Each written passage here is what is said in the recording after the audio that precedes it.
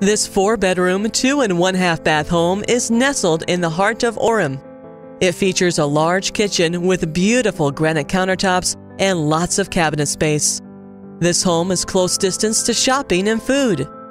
It's a quick drive to the freeway to make any commute easy. If your goal is to escape the reality of life, Provo Canyon is right up the street. For a private tour, call Brook Haslam